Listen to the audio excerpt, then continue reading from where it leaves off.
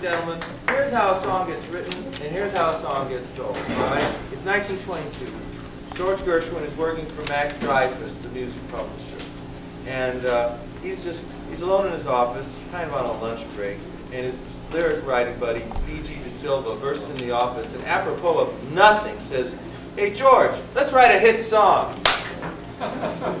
George says, "Okay."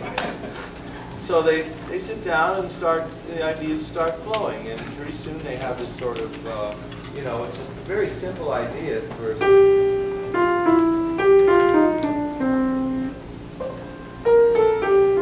Just a scale-wise thing.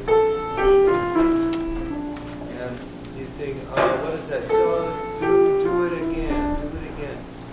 Okay, and by the end of lunch hour, they had it all worked out. They called the song Do It Again. All right? There it is, unsolicited.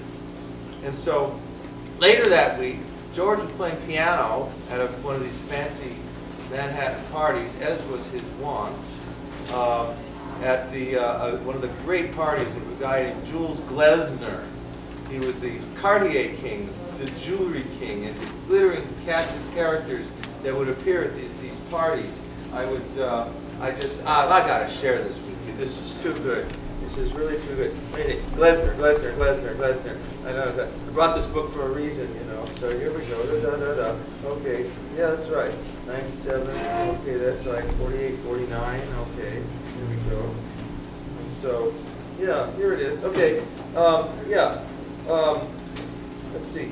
Somebody, okay, Gershwin recalled attending a party at Glaenzer's Park Avenue apartment along with producers Aarons and Ziegfeld, French pugilist Georges Carpentier, Paul Whiteman, Zez Confrey, Noel Coward, and Vincent Youmans. The Dancing Duncan sisters, Fred and Adele Astaire, Nora Bayes, Fanny Brice, Charlie Chaplin, John McCormack, Marilyn Miller, and Irene Bordoni, among other uh, Any names? and, and names. All right. Anyway, so it was one. Of, so so it was that party the next week that George played this this melody, and uh, Irene Bordoni heard it and said, "I must have that damn